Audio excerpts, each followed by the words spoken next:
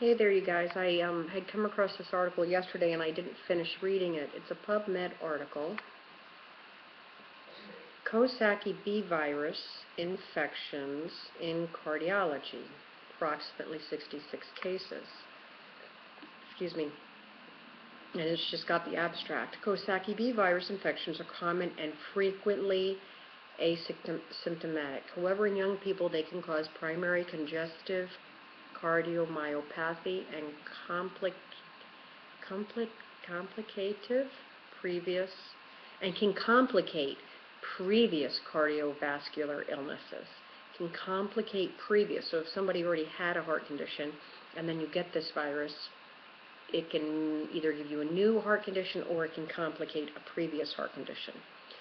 Virus diagnosis is difficult and based mainly on the detection of significant rising or stating, staying high neutralizing antibody titers. A clinical and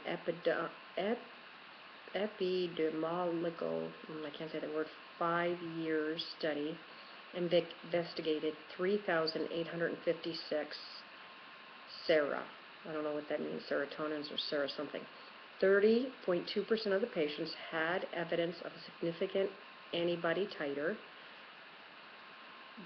greater than or equal to 64 to the one group B Coxsackie virus. This percentage reaches 34.6% in cardiology and fluctuates from year to year. Okay, Coxsackie B2 is prominent, 55.9% in cardiology. Coxsackie B1 and B2, B2 antibiotic responses were det detected more frequently than B3, B4, or B5. So B1 and B2 Coxsackie gets found with the heart conditions way more than B3, 4, and 5. Coxsackie B6 to, appears to be uncommon. From these, 66 patients have evidence of Coxsackie B virus infections with 60.2% for B2, Coxsackie B2. They include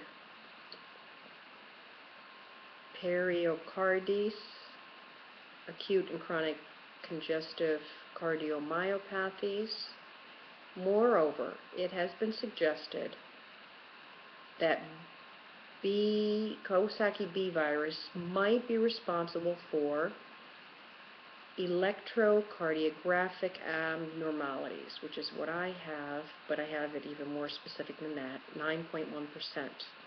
Ischemic heart disease and myocardial infarction, infarction, which is a heart attack, myocardial infarction, which I have, and I've had the ischemias.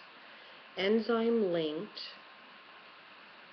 immunosorbent assay, ELISA, and radioimmunoassay with purified antigens, VP1 and VP4, did not appear better than microneutralization for evaluation of IgM and IgG antibodies.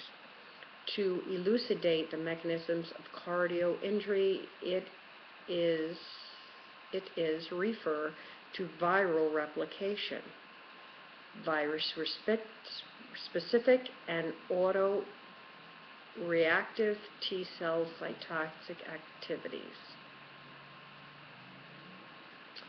Alright, I'll put this link down below you guys. I'll see if I can cut most of these words. So this is, uh, it is all interrelated. Looking at these. Alright, you guys, that's about it.